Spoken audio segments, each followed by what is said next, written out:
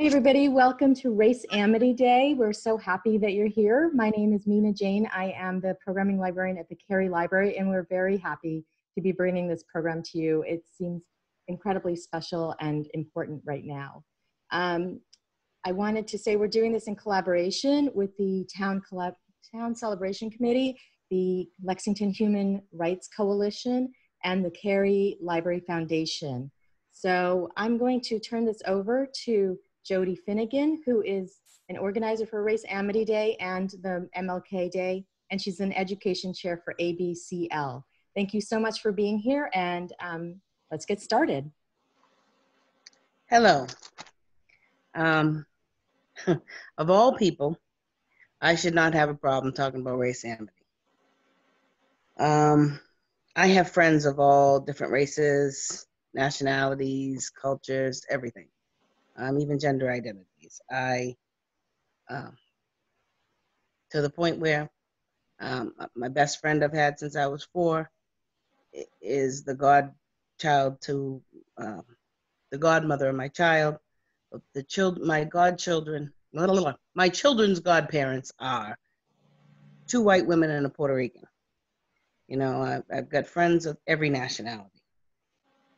But today, for some reason, because of the climate of the day, it's not as easy as it normally would be. It's become very difficult. I'm tired and we're angry. My 83 year old uncle is a man who walked with MLK back in the day, and friends with him is still out fighting in the streets. My grandson and my son are in the streets fighting for justice, and I have to worry about them when they leave my house every day. Um, but it's not just here. It's not just one person, and it's not even just a hundred. It's the whole world. It's a worldwide problem and a worldwide event. Um, black people in France and in London too, and the Aborigines in Australia, they're all affected. George Floyd, Breonna Taylor, and um, the rest, because there's a huge list of names, their deaths woke the entire world up. Um, it exposed a blatant system of colorism that taught that was taught worldwide. The Europeans' view was chosen to subrogate people of color just to advance their standings. Well, Race Amity is about cultivating friendships and learning new cultures and ways of seeing the world that you wouldn't normally be able to see things. People from different places and different colors all learning from one another. So I must try to stay positive and to say thank you to all that stood with us. Um, we need you. Please continue to stand with us and we appreciate you. But do not be complacent. As we consciously work on building diverse relationships, we need to pay attention to the disparities and to stand up and address them head on. I'd like to introduce Doug Lucente, the chairman of the Lexington Select Board. Thank you. Thank you, Jody. Thanks for those kind words. Um, uh, this has been a very challenging time for everyone everywhere. Um, and I want to thank you for what you said. That was really, really nice. Um, I also want to thank the Human Rights Committee uh, for the work putting this together and for their advocacy, uh, as well as Cary Library and the Foundation and the Town Celebrations Committee for helping to organize this event today. So I'm going to be reading the proclamation from the Select Board. Whereas Lexington supports the Great Seal of the United States of America, which bears the inscription E pluribus unum, which translates from Latin as out of many, one. And whereas the greatest asset of the town of Lexington is its people. And whereas the town of Lexington is comprised of multicultural, multi ethnic, and multiracial citizens and whereas friendship, collegiality, civility, respect, and kindness are commonly shared ideals of the collective citizenry of the town of Lexington. And whereas the Towards E Pluribus Unum initiative has invited communities across the United States of America to join in introspection and reflection on the beauty and richness of the diverse peoples of this great nation while reaching out with the spirit of amity toward one another annually on the second Sunday in June. And whereas H 2745, Chapter 163 of the Acts of 2015, the Commonwealth of Massachusetts establishes the second Sunday in June annually as Race Amity Day. And whereas on March 23rd, 2017, His Excellency Charles D. Baker, Governor of the Commonwealth of Massachusetts, declared the second Sunday in June annually as Race Amity Day and urged all the citizens of the Commonwealth to take cognizance of this event and participate fittingly in its observance. Now, therefore, we, the Select Board of the Town of Lexington, Massachusetts, do hereby recognize the second Sunday in June annually as Race Amity Day, as a day of introspection and reflection on the beauty and richness of the diverse peoples of this great nation while reaching out with the spirit of amity toward one another. Signed by myself, Doug Lucente, Joe Pato, Suzie Barry, Jill Hai, and Mark Sandeen. Thank you very much. Thank you, Doug. We really appreciate that you came out and also Kathleen Lenihan, who we'll see later. I want to do a quick shout out. Thank you to um, our team that put this whole program together um, and to the library, Alyssa Lausen, who created uh, and spent time curating the book list for children, and Mina Jane, who is running our program today from the library and also did the book list and the movie list, which will be um, sent to you all after this program. Um, I also want to thank the Town Celebrations Committee and, of course, the Cary Library Foundation.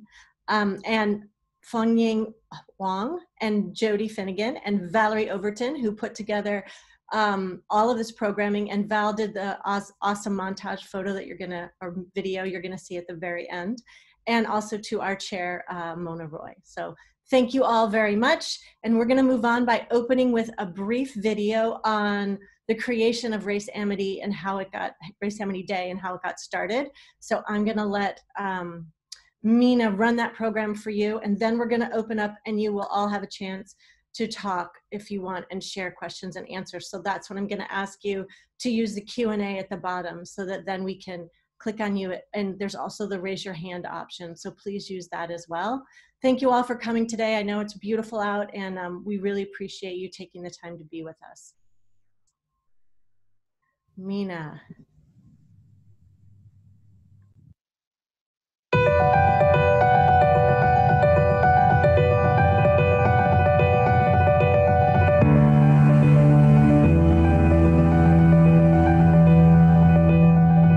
reason we focus on race amity is that friendship is such a powerful, powerful source of engaging with others and to bringing about change. Race amity combined with education is the key to the future of this country. And it's so simple, it's totally overlooked. We forge ahead saying, well, we got to get people to do this, we got to make them do that. And friendship ultimately gets to the heart. And that's really the transformative, lasting impact.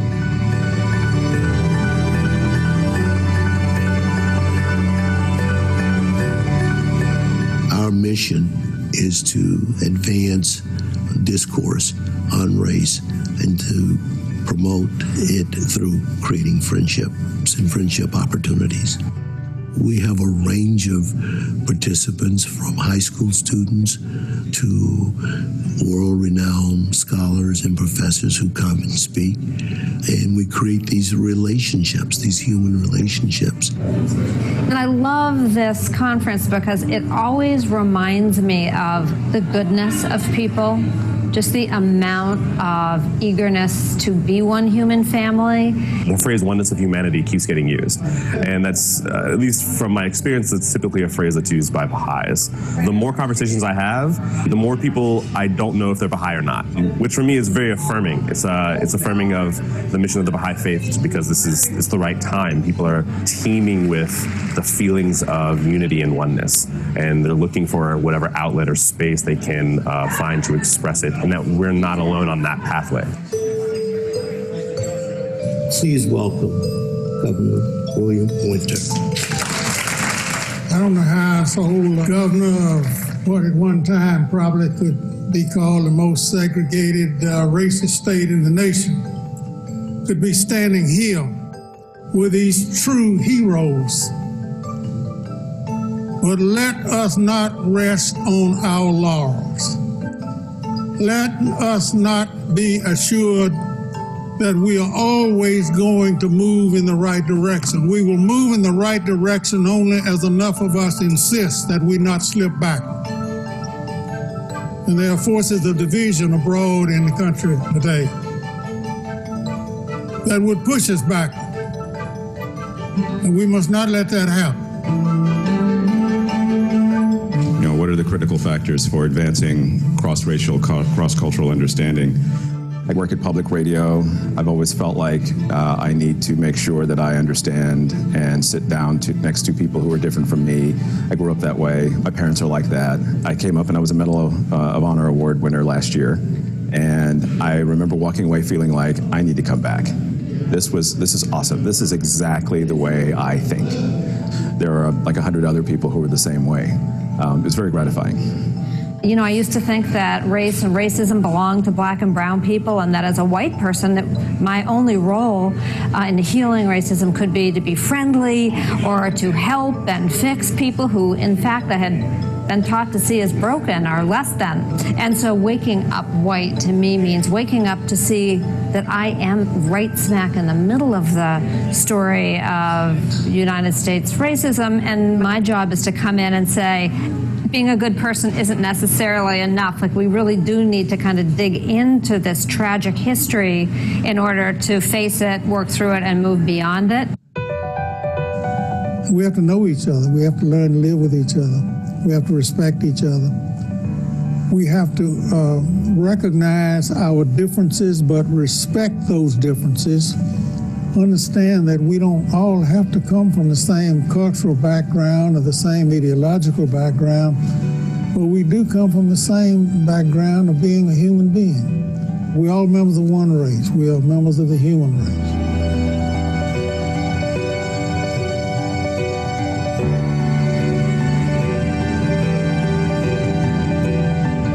In this work, I've had the opportunity to establish relationships with like minded people across a number of segments of, of our society governmental, religious, civic leaders, educators.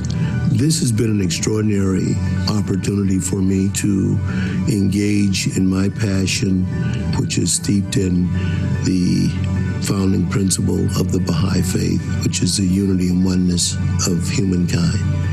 And the theme is centered on the idea of amity, of friendship. And of course, this is not an original thought of mine. It is motivated by Abdu'l-Baha and his visit to America and his instructions and encouragement to the American Baha'i community to promote cross racial friendships, to promote race amity. And in fact, he instructed a couple of Baha'is who organized the first National Race Amity Conference in 1921, which we used to model, of course, the conference that we hold here in the 21st century. The idea, though, of the center was to impact the public discourse on race, to impact it in a way that framed it in a different context, to frame it in the context of human relationships, to imbue it with a spiritual background in terms of engagement and relationships among people. I think it is a key to our ability to exist as a great nation, where people understand uh, the diversity of their backgrounds and their race, but at the same time, the commonality of their interests, the absolute necessity of learning to respect each other, and to know that out of that understanding will come a relationship, a, a total human relationship that will put down so many of the biases and prejudices that we are still afflicted with. This country is too rich, it has too many great resources, too many great people. Uh, to be handicapped by a continued racial bias.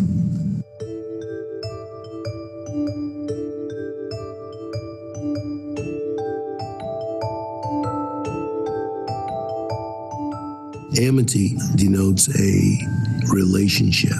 And unless we have a relationship, it's hard for us to engage successfully with one another and to bring about change.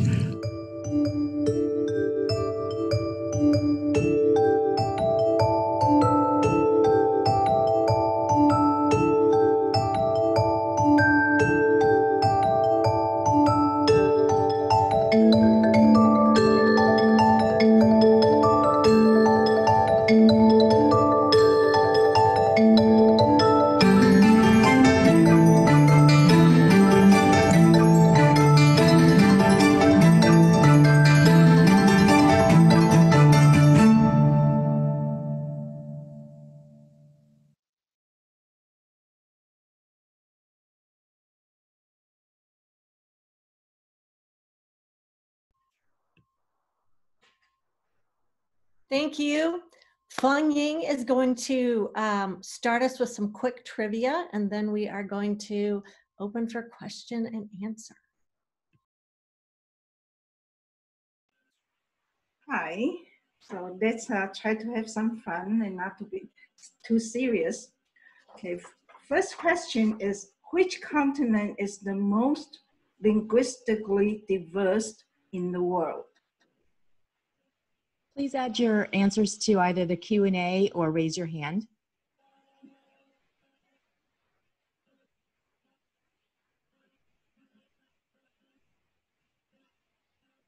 Okay. We got any hands? I have Eileen J raised her hand. Okay. Eileen, what is your answer?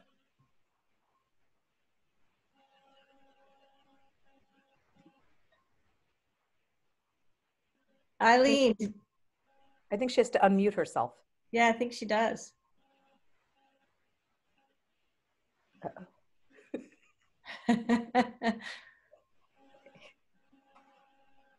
okay, figured out how to unmute. right, awesome. USA. Uh, no, actually it's Africa. The continent is home to about 800 to 1500 of the world's language. Ah, Yeah. We had an anonymous um, attendee add that to the Q&A, so good job. yeah. Asia. No, they put Asia. They put Asia. Really? Yeah. Well, Actually, Africa. It was in the Q&A, not in the chat. oh, no. Yeah. Yeah, awesome, thank you. Okay, next question. What is an avatar and where was it originated?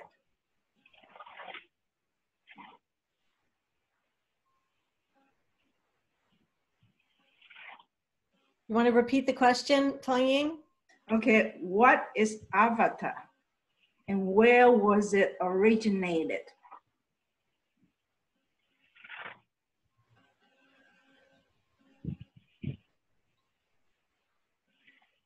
Anybody?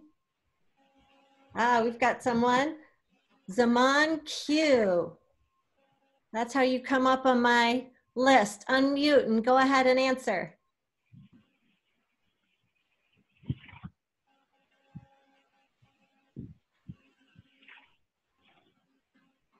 Uh, Japan. It's originated in Japan. Okay. No, Okay, then I don't know. okay. Good Okay. try. A- Anyone else? Anyone else want to give it a try? We have Arun who's going to try. Hi, avatar means reincarnation from India. Yep, that's right. It's uh, in Hinduism, it means descent. And it's the material appearance or incarnation of a deity on earth. So you are right. Yay. Congratulations. Thank you. Okay, next question. What is the very first product Nintendo sold? Anyone? Everyone knows about Nintendo, right? So what, what is their very first product? Oh, Anyone? the, oh shit. We have somebody named Asumi who has an answer. I'm going to say the Nintendo 64. Okay, uh, much earlier. Anyone else? Good try, though. Okay, the first product Nintendo sold was back in 1889. It's a playing card called Hanafuda. It can play a variety of games. And Nintendo actually was a card company from 1889 to 1965. It actually, the, the company itself actually have a very interesting story and about the playing card. So if you have time, you can Google about it. Okay, next question. In what country was movable metal type invented? You know, for printing? Okay, I'll, I will repeat the question again.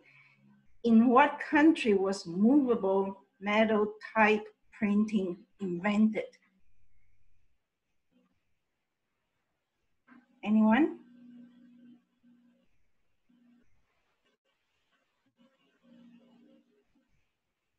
All right, the answer is it was invented in Korea about in the early 13th century. It's an improved printing type from the Japanese wooden type in 11th centuries in Song Dynasty. Awesome. We had two attendees who thought it might be China. Yeah. Okay. Well, China invented the movable wooden type printing in 11th centuries, but Korea, Korean is the one who invented the metal type, which is improvement from the wooden type because obviously the, the metal type will last much longer than the wooden type. All I right. think we have a question from Steve. Hold on Okay. one second. Steve. You have your hand raised, Steve? No, I don't. Sorry. Oh, Okay. All right. Okay, next question. Which country is the largest Muslim country in the world? Anyone?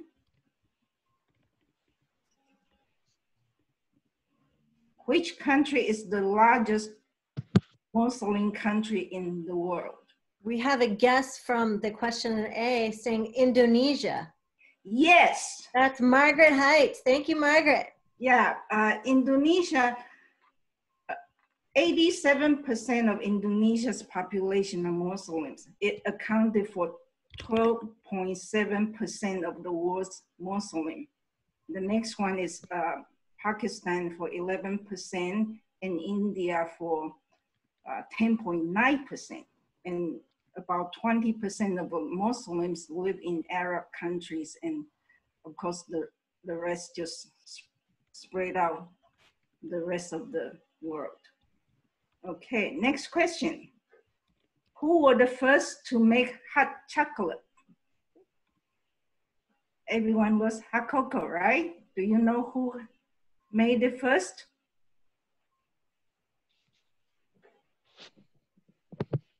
Catherine's got a guess. Catherine? Anyone? Hmm. Catherine or Someone, yeah, oh, Catherine wrote Mexico. Yes. The Maya Mexican Mexico, or Yeah. the, the Mayans in Mexico, I should say, they start have hot chocolate back in 500 BC. They make the drink from grounded coca seeds with water, cornmeal, and chili peppers. So I. That's awesome. it. Yeah, it's delicious. Linda also got that one right. Thank you both. Oh, okay. Uh, next one is about history too. Before Rosa Parks, which African American also refused to give up her seat in the public trans- transportation, on public transportation? That's way before Rosa Parks.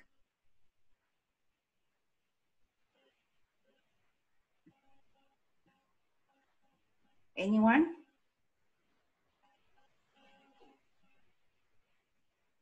Alyssa says Claudette Colvin. Uh, no. Anyone is else a correct- to try? That is a correct answer. Claudette Colvin was a pregnant woman who, who within six months before Harriet, before um, the first lady did it, before Rosa Parks, she um, actually did. Okay, my my research says it was a journalist. Her name is Ida Well Barnett. Ida B. Wells. Okay, uh, she re- refused to give up her rail car seat for a white man back in 1884. Mhm. So if your person is six months before Rosa Park, I think uh, this uh, Ida lady was way before she did. But anyway, anyway, to continue the story, she refused to uh, give up her rail car seat for a white man, and she bit the conductor on the hand when she when he tried to force her to give up her seat. So she uh, later on she sued the railroad company and initially won, but then the decision was overturned later by a higher court. So I guess uh, uh, after the meeting, we have uh, some homework to do, you know, and try to sort out exactly who is the earliest one. Anyway. Okay, next question. Who is the sequoia tree named after?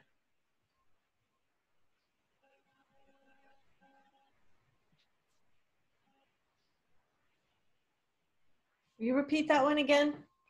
Who is the sequoia tree named after? Hmm.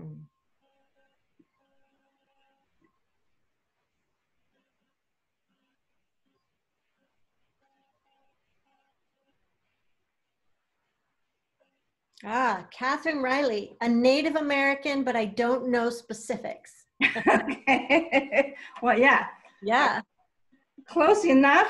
Uh, the sequoia tree is named in honor of the Cherokee leader Sequoyah, who helped his people to develop an alphabet for their language. So, yeah. That's awesome. We also have an anonymous attendee who said a Cherokee Native American named Sequoyah. Yes. Yep. Awesome. Thank Okay. you both. And we actually have some good um, comments about the la- the last question before last about Claudette Colvin, that she was one of the founders of NAACP. And Jody says, yep, that's her. Okay. Awesome. All right. So, No, no, no, not Claudette Colvin. Ida B. Wells. Ida B. Wells was a, a founder of the NAACP. Um, Claudette Colvin they chose not to use her as the face for that um, boycott because she was pregnant. She was a 16 year old pregnant girl. So when um, Rosa Parks decided to do it, they used Rosa Parks. She was a secretary for the NAACP. Oh, thank you so much for that um, clarification. Ida B. Wells was the founder of NAACP. Got it. Okay, are we ready for the next one? The question is, which country in the world has the first LGBTQ person as its head of the state?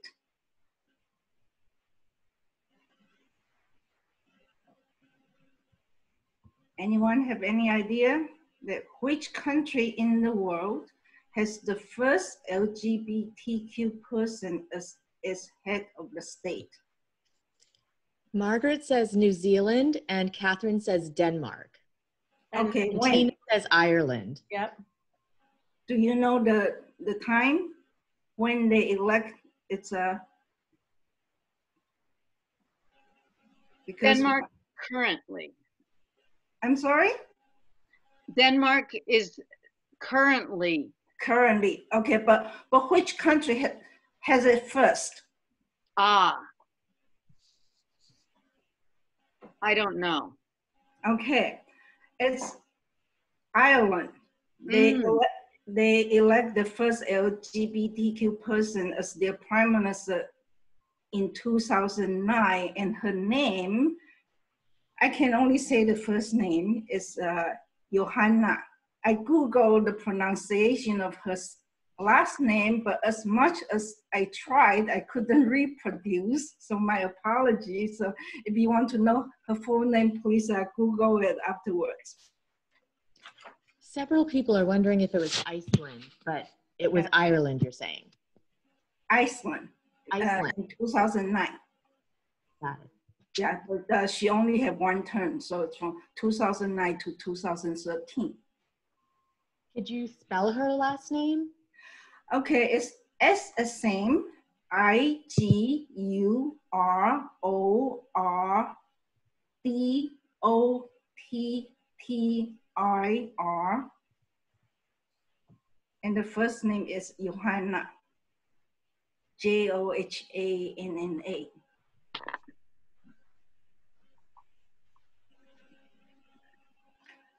Thank you. Okay, the next question. Which number is considered unlucky by Chinese and some other Asian people? Which number is not lucky for Chinese? Someone says anonymous attendee four. Yes. Tina thinks it's eight. Okay, the correct answer is four. And the reason is because it sounds very similar to death, you know, in many Chinese dialect, and I think also in Korean. So they also consider number four is an unlucky number. You know, I don't know how things are now because I've been away from Taiwan for over 30 years. But back then, you're not going to see, say, fourth floor or room number four in a hospital or in a hotel. And then back in 1997, when Hong Kong was going back to China, a lot of people from Hong Kong migrate to Canada. And then they will make the developer change the street number before they buy the house if it so happen ends at four. Hmm. Okay, next question. Which country was the first country in Southeast Asia to gain independence after World War II in 1945?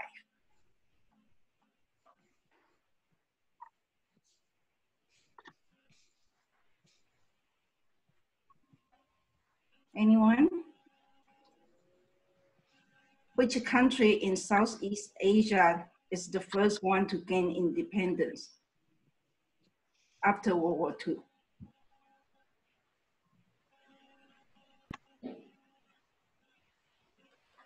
Okay, the answer is Philippines.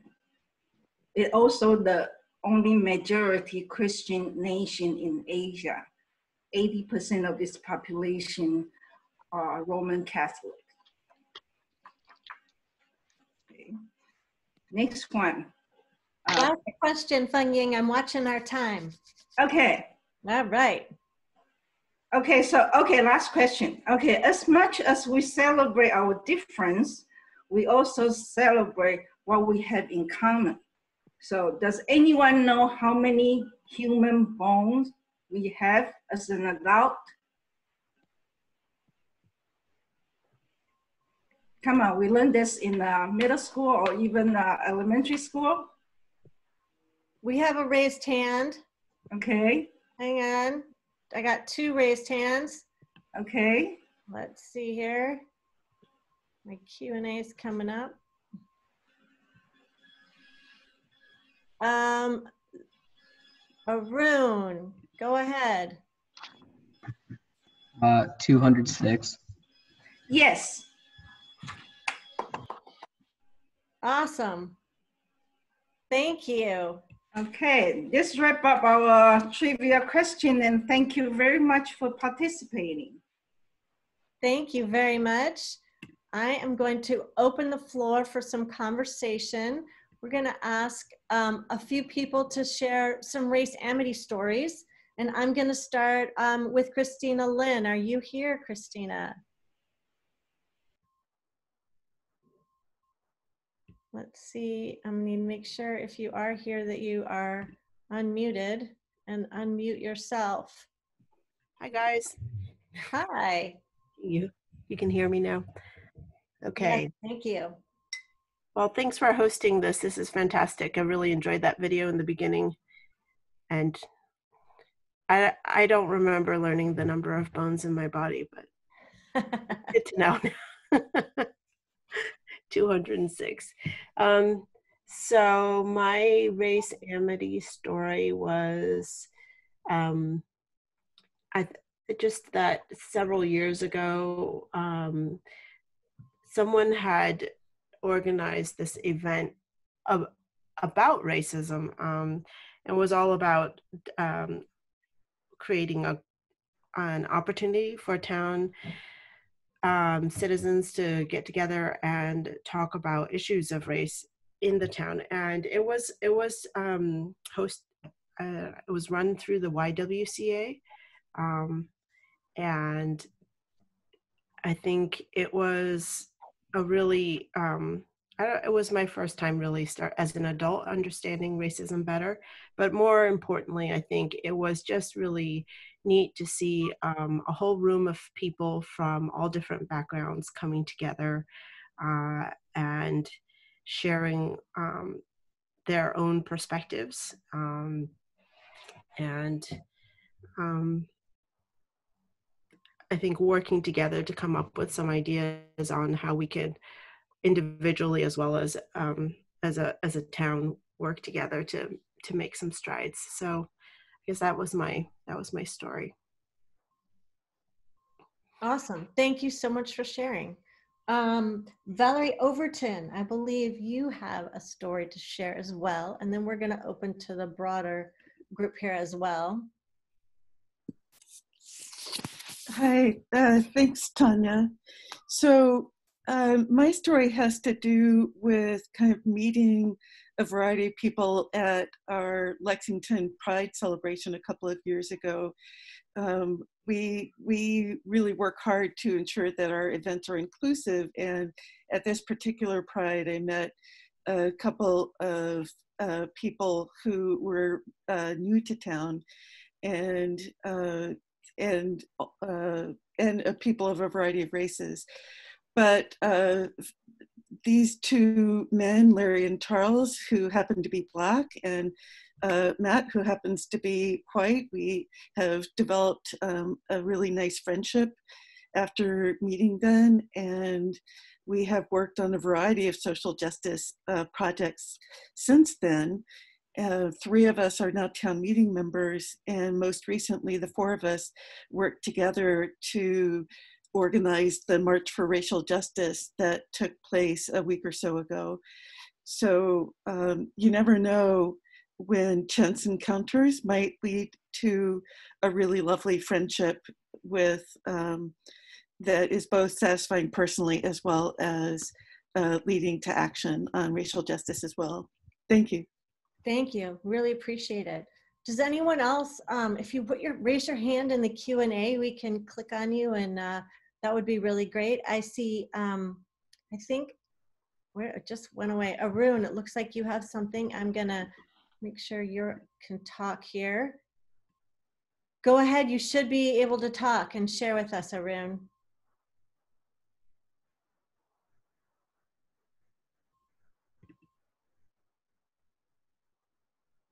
Hi, this is Nagashri Chakka, Lexington team lead. Uh, we are a group of 70 volunteers making personal protective equipment to serve the needy and the frontline uh, staff. With me is Arun Kodumuru, the youth leader for ACOM Boston Youth. Uh, we have experience to share here. Thank you. Welcome. Thank you so much for joining. Tell us your story. So recognizing the need of the hour, I called for volunteers to make PPE, and surprisingly, within two days, I get about 40 to 50 volunteers who came together. Most of them are strangers to, to make and supply PPE. And very, very soon, we got into a group of 80 people, 25 sewers, about six people helping out with the cutting and many more donors and volunteers who were crocheting, making 3D bands, making the caps for the hospitals, making the disposable gowns and making the face shields. We have more than 50 youth volunteers and 70 uh, adult volunteers in this effort, working through next Lexington Coalition Group. We have people from different ethnicities. Pakistan, Bangladesh, Africa, and China, and probably there are a few more that I'm not aware because we are all strangers to each other and I didn't even get to see them in person. But this was an amazing journey of two and a half months for me. We have made over 6,000 masks, made over 1,100 crochet bands, made over 500 face shields, made over 1,000 disposable gowns, made over 300 3D printed mask securers. I can't thank people coming with a common goal of serving people like us who are trying to make sure we are safe. Thank you for giving us this opportunity. Thank you. Thank you for all you all have done and your whole team and group. And I really appreciate you sharing that story. Um, I think Margaret is next. Margaret, did you have your hand up? Do you want to share your story? Uh, yes, my story is that a couple of years ago, I um, received an email from Encore, which is an organization that uh, for uh, retired people, and uh, it's a, and it was an invitation to join a project uh, of um, of older citizens to become mentors in the classroom in a classroom in Boston. Um, and specifically, I went to Hyde Park, and there might be other people on this call who were part of this as well. But I spent, oh gosh, um, I think I was there from September, end of September to uh, to uh, December, uh, two days a week uh, with two different uh, classes. Um, and it was uh, a mixed heritage classroom um, and uh, I had such, I enjoyed the experience so much. And um, it was, I was invited to come back the next year um, outside of the Encore program um, to come and um, uh, be a mentor as well with the same teacher. And I was so gratified uh, when I went into the school and one of the kids from the um, previous year saw me in the hallway mm. and crossed over the crowd of students and gave me a big hug. Oh, I have to tell you, um, I'll treasure that moment my you know the rest of my life. It was it was really wonderful, and I enjoyed the teaching experience. And in fact, I feel that perhaps I missed my calling because I really loved being with those kids. So That's thanks. awesome. Thank you. Thank you so much. I think we probably have time for one more. Jesse, do you want to share? Sure. Hi. Hi. Um, hello. Um, what comes to my mind is when Lexington in 2013 celebrated the tercentennial, the 300th anniversary. Kathleen, who I know is on the panel, um, helped organize one of the events, and it was a dance around the world. And what we Ah. did, what we did was um, reach out to people in different cultural groups in town, people of different nationalities, different ethnicities, different races, and the key part was that there were dances from colonial times and modern times, but there was this really special dance, a fusion dance, and Melanie Lynn and Geeta Padaki organized it with Jay Shree, and it was you you looked at all these different people doing their own separate cultural dance, and then she organized a dance that everyone participated in, and they called it the fusion dance. I know a lot of people who didn't know each other made friends through planning those events. And some of those leaders have now become like in town meeting or are helping run some of the community organizations. So I thought that moment was exquisite to celebrate not just our revolutionary past, but also the rich diversity that's here right now. That's awesome. Thank you so much. I remember that. Then and dancing was fun too. I remember that. It seems like a long time ago, but I agree. Jesse. That was an awesome. That was an awesome event that Lexington put on. And look at all the amazing people within our own community that we have that we can connect with. So thank you. Um, does anyone else do, does anyone else have a quick one they want to share before we move on?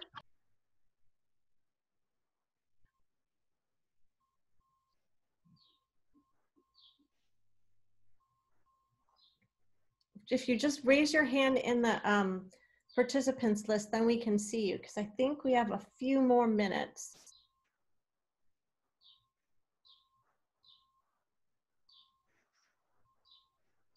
Anybody?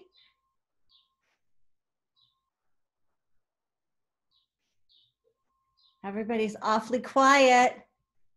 Okay, I'm going to say thank you to everyone. I want to thank. Um, Actually, Tanya, uh, we do have one more. oh, good! Yay!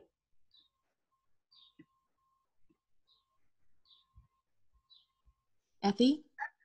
Yeah, I just wanted to bring to people's attention getting involved with Habitat for Humanity, uh, which is an international uh, building group of all kinds of ethnic backgrounds and religious backgrounds, culture backgrounds, especially getting multi generations to take on one of these groups and help to build homes. It was a tremendous experience in Trinidad to work with a, a three generation family to build their home a few years ago.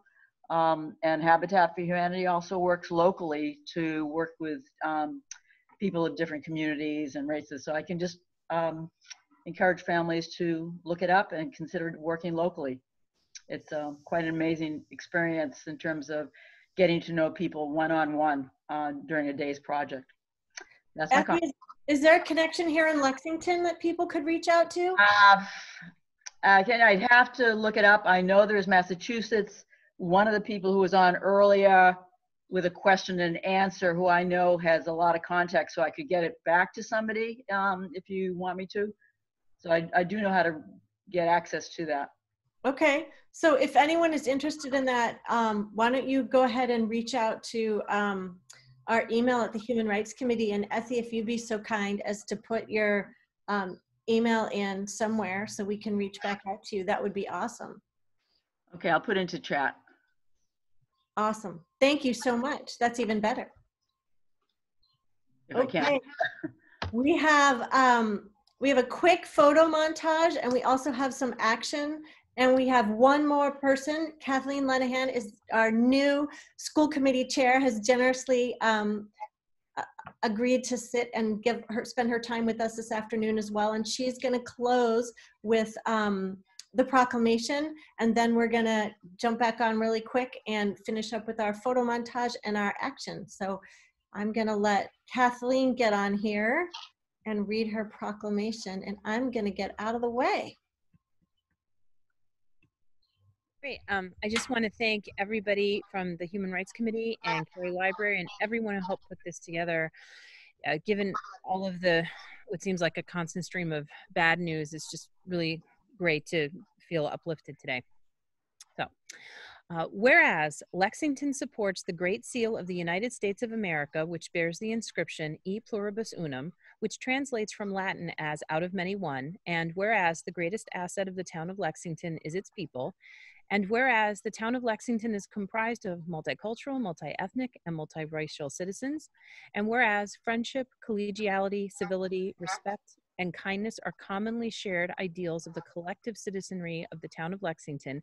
And whereas the Towards E Pluribus Unum initiative has invited communities across the United States of America to join in introspection and reflection on the beauty and richness of the diverse peoples of this great nation while reaching out with the spirit of amity toward one another annually on the second Sunday in June.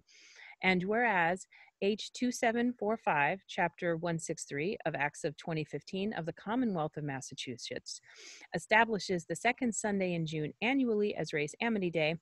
And whereas on March 23, 2017, His Excellency Charles D. Baker, Governor of the Commonwealth of Massachusetts, declared the second Sunday in June annually as Race Amity Day and urged all the citizens of the Commonwealth to take cognizance of this event and participate fittingly in its observance. Now, therefore, the Lexington School Committee does hereby proclaim the second Sunday in June annually as Race Amity Day, as a day of introspection and reflection on the beauty and richness of the diverse peoples of this great nation, while reaching out with the spirit of amity toward one another, signed by myself and Eileen Jay, Sarah Cuthbertson, Deepika Sawhney, and Scott Bokun. Awesome. Thank you so much, Kathleen. Thank you everyone for joining. I have a couple of quick, I know Mona Roy wants to do a quick announcement. We were gonna put up the action list of things that you can do, actions that you can take to promote race amity for yourself and for your friends and family. So I think um, Mina's gonna post that and we're gonna, then after that, we're gonna do a quick video montage. Um, do you wanna put that up and then I'll let Mona, Mona jump on. There we go. Great. Hi, everyone. Um, I just wanted to thank thank everybody, um, uh, uh, thank everyone for coming, and um, I wanted to especially thank um, someone who wasn't thanked, which is Tanya Gisolfi, our vice chair, who works tirelessly for the committee and who um, organized uh, this, who really organized the subgroup, um, which was Fong Ying Hong. Um, Jody Finnegan and Valerie Overton, grateful to all of these people. We know that this was a relatively short program compared to last year, and we look forward to the time when we can be in a room together and meet in person. But we really appreciate everyone coming today. The Human Rights Committee is very excited not only to bring you this program, but also to be a co-sponsor of Lex Pride's wonderful uh, Lex Pride, Pride in Lexington Day. And today we're going to have a car parade, and we will be meeting at the uh, Department of Public Works, I believe at 2:30, to um, in our cars so we can safely socially distant, and then have just a car parade down Mass Avenue to about Wilson Farm. So we look forward to those of you who would like to come to that to please join because I think we're very fortunate in Lexington to have a wonderful inclusive community. You and you saw from our leadership whether it's uh, Doug Lucente or Kathleen Lenihan that both on the town side and the school side that um, they they respect and embrace race amity. And um, Tanya, I, I don't know if any if I know that this race amity actions item this these ideas can be sent out as well, but we hope that you'll consider taking these actions and many more. We're going to put them on our website. Mina is going to send them out along with book lists. And I, that reminds me, I, I want to again thank the library. I think these programs run smoothly because the library not only has helped us with all of the technological things, but they are very much our partners in, in the equity work that we do in Lexington. So very grateful for that. And anyway, I think that's I think I've taken just about too much time, so we'll go to the photo montage and I think we'll be done. Yeah. Just thank you all so much for joining us. And um, thank you, Mona, our chair. And I just want to leave with this true peace is not merely the absence of tension, it's the presence of justice. Of course, that's ML Martin Luther King Jr. And um, if we think that, if we focus on that more, I think we will find ourselves uh, understanding a lot more about what's going in our society today. Okay, photo montage. Thank you all for joining us. We really appreciate it.